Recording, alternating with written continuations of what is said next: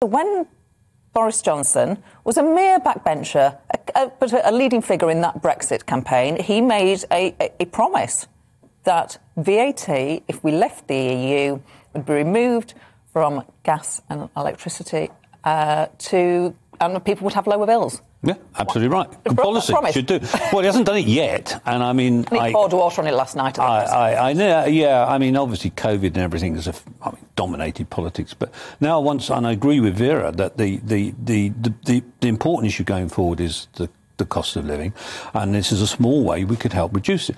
And in my constituency, Uh, most people just get by. So reducing something slightly is a big advantage. Uh, equally, increasing things is a huge disadvantage. So I think that's a very easy thing we could do, and we could, and we, we should take advantage of the fact that we can now do it because we're out of the EU, and we should do it.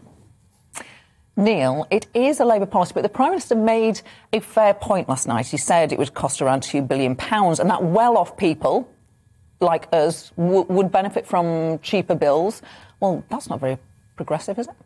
I think, I mean, it's going back to what Gordon Brown might call progressive universalism. If you make something available to everyone, it actually makes it more affordable to deliver, for example. So you wouldn't need so many smaller schemes like the Warm Homes Grant or cold weather payments. You could actually save, you could help far more people far more quickly through a simple costed measure like this, which is, I, I think the figure is actually one and a half billion that, that, that I've seen. I'm not sure whether where the government's two billion figure suggestion comes from, but it is Labour policy. It's great to have advocates on the Conservative backbenches.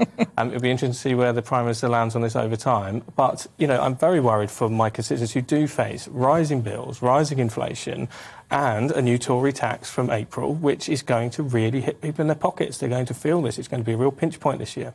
Isn't it interesting? Got a Labour member of Parliament arguing for lower taxes.